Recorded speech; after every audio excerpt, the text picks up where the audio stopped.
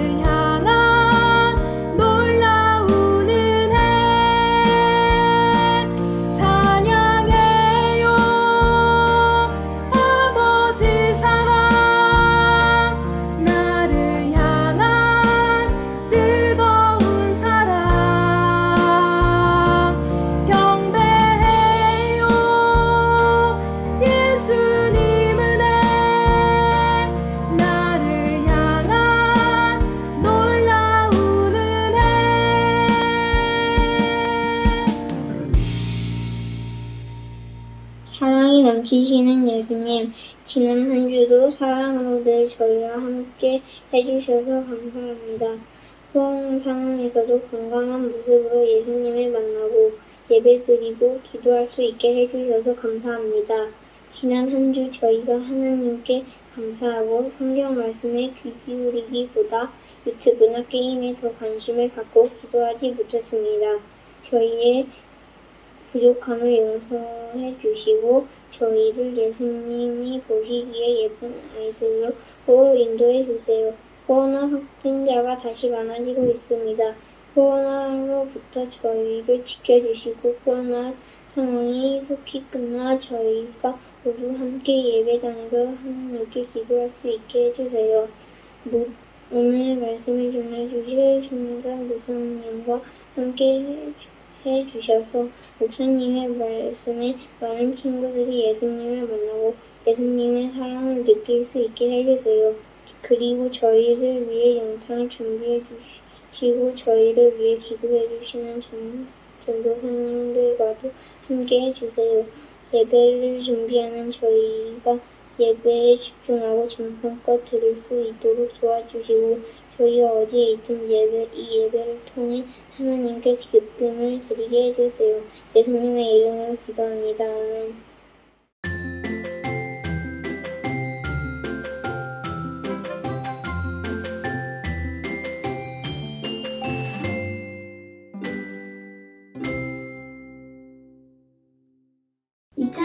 (2022년 7월 18일) 월요일 학교에서 음악 경연대회를 하는데 엄마가 한번 나가보라고 했다. 하지만 난 2학년 때 나갔는데 왜 또 나가라고 하냐며 투정을 부렸다. 그런데 엄마는 계속 나가라고 했다. 엄마는 2학년 땐 영상 찍어서 보낸 거고 지금까지 나간 것이 공연이어서 대회도 나가보고 큰 무대에 또 서보라고 했다. 하지만 난 진짜 나가기 싫었다. 그런데 그때 하나님이 마음을 주셨다. 난 하나님은 난 잘할 거라고 하셨다. 그래서 난 음악 경연대회에 신청했다. 난 그런 마음을 주신 하나님이 너무 감사하다.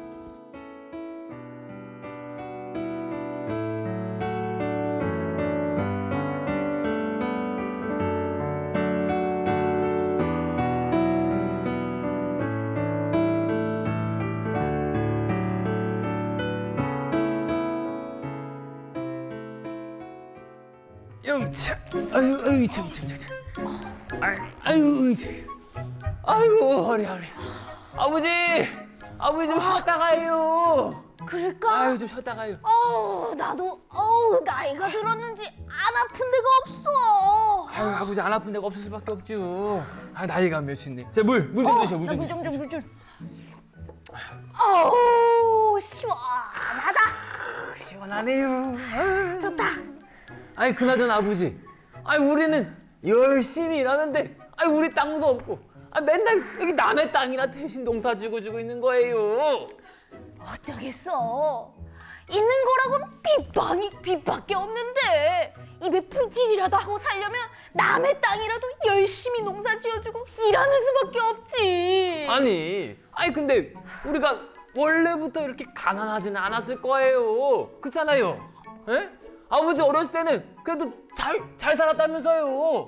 근데 그것도 옛날 일이요. 어, 하긴 우리 집도 예전에는 부자까지는 아니었어도 우리 땅이 있었어. 그래서 그 땅에서 농사도 짓고 먹을 것도 해먹고 얼마나 행복한 시절이었는데. 우리 아버지 그러니까 내 할아버지는 말이야 어떻게 하면 부자가 될 수 있을까를 고민하던 그런 분이었단다. 그러다가 해서는 안 되는 일을 하고 말았지. 아니, 해서는 안 되는 일이요? 아니 그게 뭔데요? 어디다가 투자를 하면 돈을 많이 번다는 이야기를 듣고는 우리 집 전 재산을 다 팔아서는 상인애가 상인에게 맡겨버리고 만 거지. 에이, 그때 그때 땅 땅문서도 아휴, 근데 그게 잘 안 됐던 거군요. 그렇지. 소용없는 일이요. 일이나 하자고. 아예 아버지. 어? 아버지.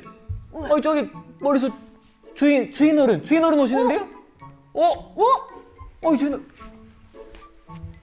어이 아유 아, 미복에 올해가 벌써 희년이라고 하더구만. 예? 희년? 신년이. 희년이요? 그래 희년. 희년이 되었으니 마땅히 당신들의 땅과 재산을 돌려줘야 하지 않겠는가? 자 여기 땅 문서일세. 감사합니다. 감사는 하나님께 하시게. 하나님이 당신들을 회복시키시고 자유롭게 하신 것이니 하하하하하. 오늘 주시는 하나님의 말씀은 레위기 25장 8절에서 13절까지 말씀입니다. 너희는 7년을 7번 세어라. 그러면 49년이 될 것이다. 그동안 땅이 쉬는 해가 7번 있을 것이다. 너희는 49년이 지난 다음 속죄일에 나팔을 불어라. 너희가 나팔을 불어야 할 날은 일곱째 달 10일이다.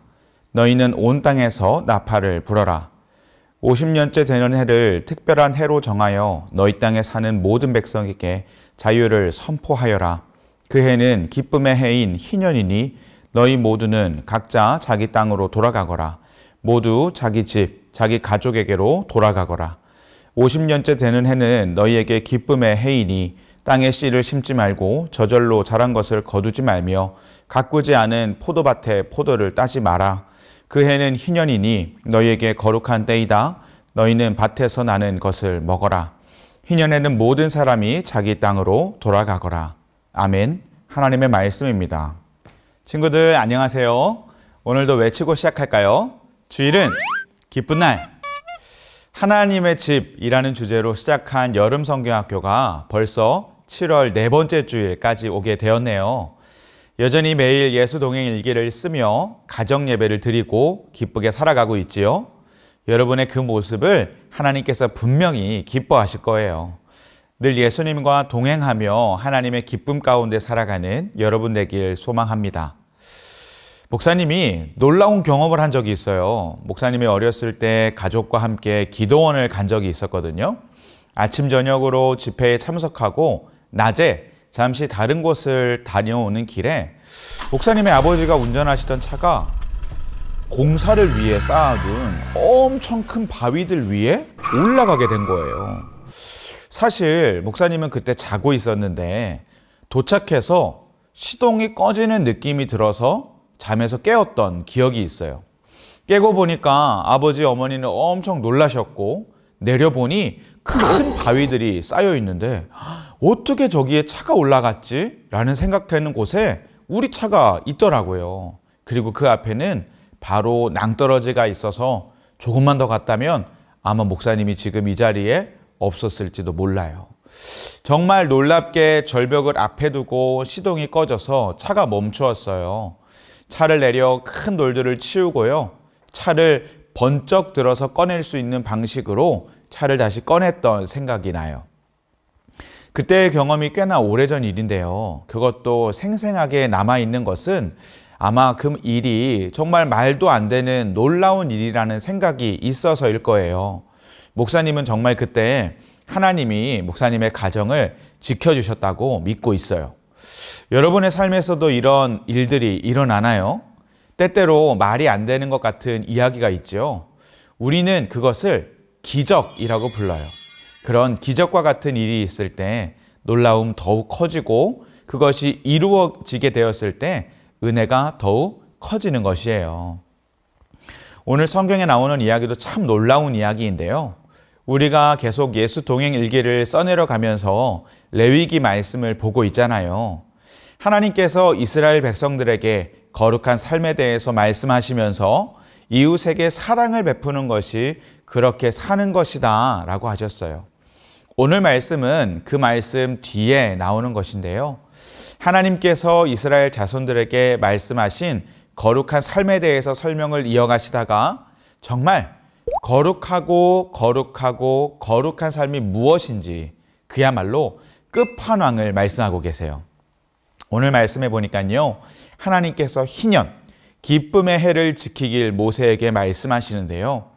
앞으로 가나안 땅으로 들어가면 6년 동안 땅을 가꾸고 곡식과 열매를 거두지만 일곱 번째 해는 무조건 땅을 쉬게 해주어야 한다라고 말씀하세요.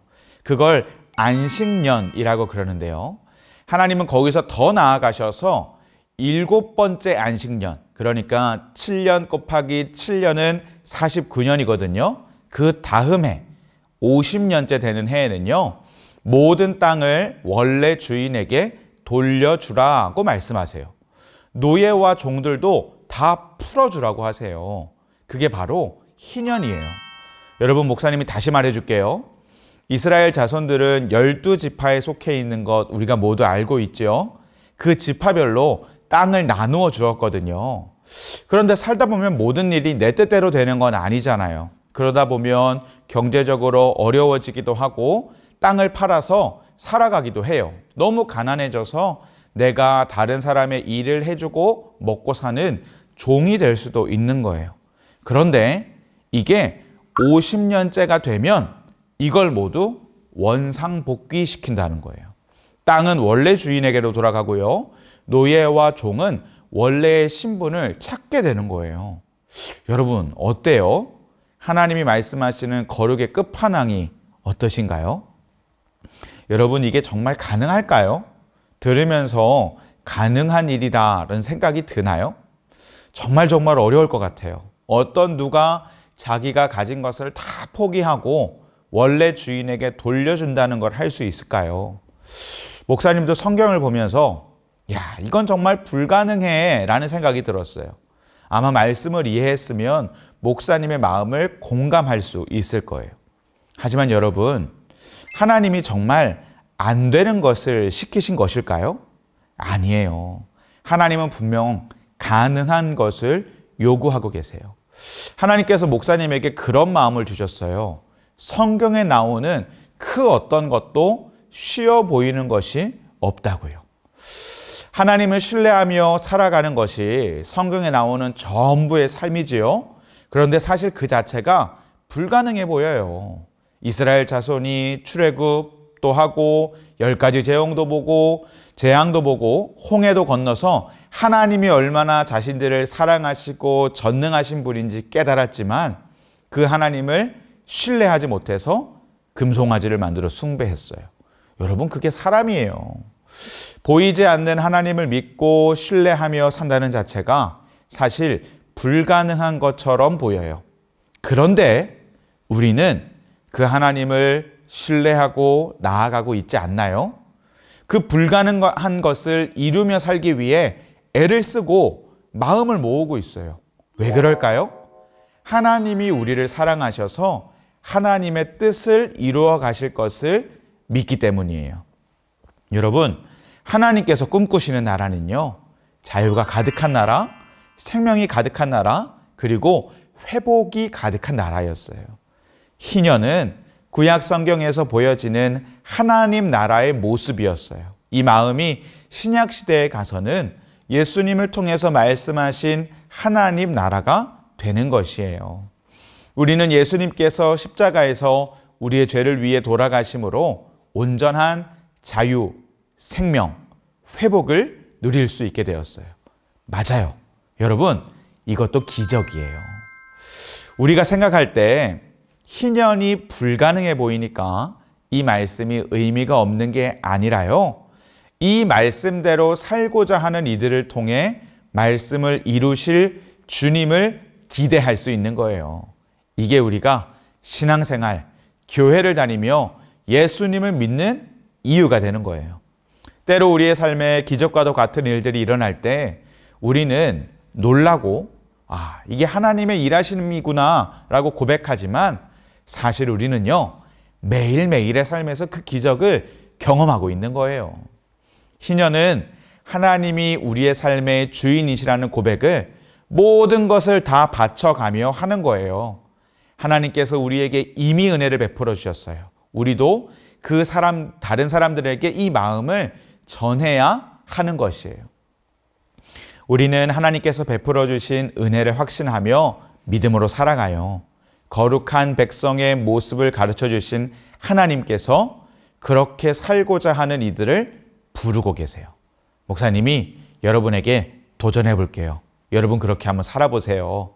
내 소유와 재산을 다른 사람들에게 나누며 선한 마음을 베풀며 살아가 보세요. 하나님이 여러분을 통해 그 기적과 같은 일을 분명 이루실 거예요. 분명 더 큰 은혜가 있을 거예요. 여러분 오늘로써 성경학교는 끝나게 되어요. 두 달 동안 하나님의 집에 대해 배우고 느끼고 경험했는데 어떤 마음이 드나요? 하나님의 집은 내 마음 속에 계신 예수님이라는 것이 새겨지는 시간이 되었나요? 참 감사하지요. 받은 은혜를 잘 간직하며 말씀을 따라 살아가는 저와 여러분이 되기를 간절히 소망합니다. 아멘.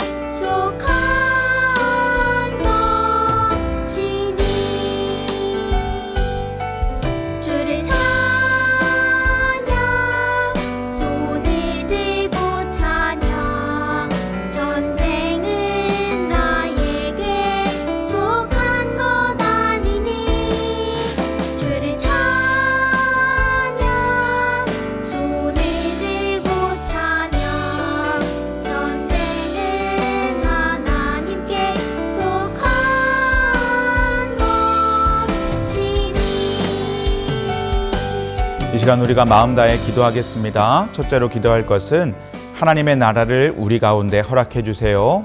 위하여 기도하겠습니다.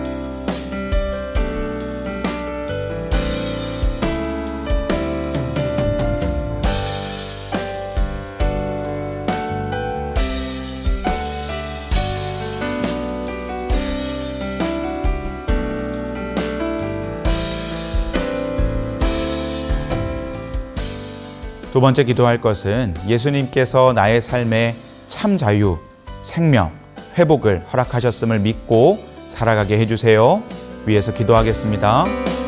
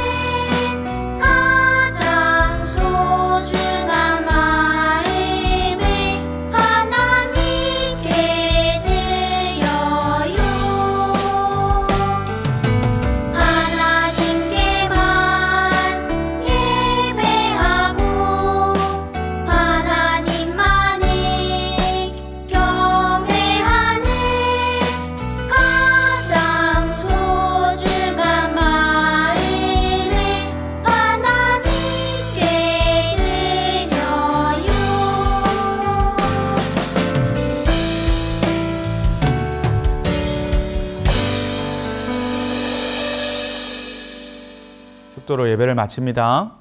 지금은 우리를 죄에서 구원하신 예수 그리스도의 은혜와 하나님 아버지의 크신 사랑하심과 성령님의 안아주시고 회복시켜 주시고 새 생명을 주시는 역사가 이 시간 하나님께서 우리의 삶에 어려워 보이는 것이지만 도전해 주신 그 말씀을 붙잡고 거룩한 삶, 희년의 삶, 기쁨의 삶을 살기로 결단한 우리 모두 머리머리 위에 지금부터 영원까지 함께 계시기를 간절히 축원하옵나이다. 아멘.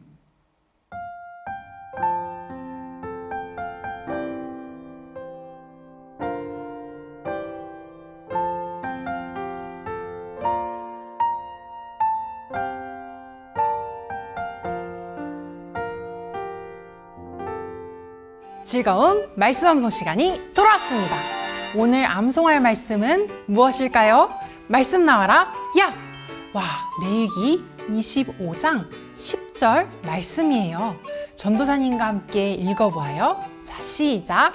너희는 50년째 해를 거룩하게 하여 그 땅에 있는 모든 주민을 위하여 자유를 공포하라. 이 해는 너희에게 희년이니 너희는 각각 자기의 소유지로 돌아가며 각각 자기의 가족에게로 돌아갈지며 레위기 25장 10절 말씀 아멘 하나님은 일곱 번째 안식년이 지나고 다음 해에는 그러니까 50년째 되는 해에는요 모든 땅을 원래 주인에게 돌려주라고 하세요 노예와 종들도 다 풀어주라고 하세요. 이것이 바로 희년이에요. 희년은 구약 성경에서 보여지는 하나님 나라의 모습이었어요. 이 마음이 신약 시대에 가서는 예수님을 통해서 말씀하신 하나님 나라가 되는 것이에요. 희년을 계획하신 하나님의 바라심과 뜻대로 우리 함께 말씀을 지키고 세상에 빛을 비추며 아름다운 하나님 나라를 함께 이루어가기로 해요. 그럼 이제 말씀을 다시 한번 읽을 때 머릿속으로 기억하며 외워보아요. 너희는 50년째 해를 거룩하게 하여 그 땅에 있는 모든 주민을 위하여 자유를 공포하라. 이 해는 너희에게 희년이니 너희는 각각 자기의 소유지로 돌아가며 각각 자기의 가족에게로 돌아갈지며. 레위기 25장 10절 말씀. 아멘. 자 이제 전도사님이 10초의 시간을 줄게요. 우리 친구들 함께 외워보는 거예요. 그럼 시작. 10 9 8 7 6 5 4 3 2 1 땡! 자, 말씀이 가려졌어요. 이제 전도사님과 함께 암송해 볼까요? 너희는 50년째 해를 거룩하게 하여 그 땅에 있는 모든 주민을 위하여 자유를 공포하라. 이 해는 너희에게 희년이니 너희는 각각 자기의 소유지로 돌아가며 각각 자기의 가족에게로 돌아갈지며 레위기 25장 10절 말씀 아멘. 와, 친구들 오늘 말씀 암송도 정말 잘했어요. 이번 한 주도 하나님의 뜻과 마음을 늘 생각하며 순종하는 우리 모두가 되길 바라요. 그럼 여러분 안녕.